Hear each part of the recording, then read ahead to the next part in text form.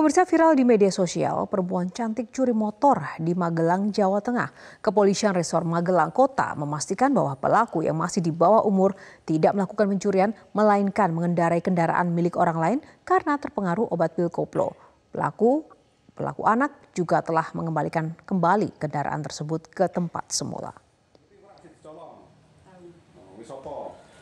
Berdasarkan hasil penyelidikan kepolisian, kejadian yang diduga pencurian tersebut terjadi di Kecamatan Bandongan, Kabupaten Magelang, dilakukan oleh pelaku yang masih di bawah umur.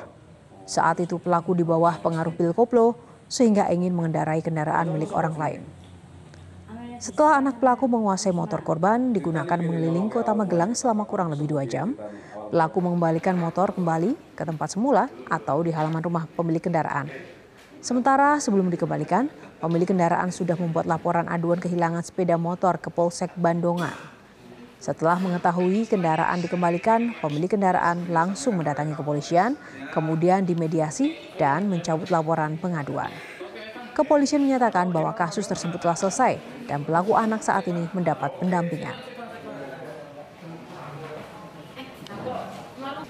Seorang anak ini kebetulan minum pil koplo dan dalam pengaruh meminum obat dan pada saat pengaruh minum obat itu berkeinginan untuk menaiki sebuah kendaraan yang diparkirkan namun kendaraan tersebut tidak ada kuncinya.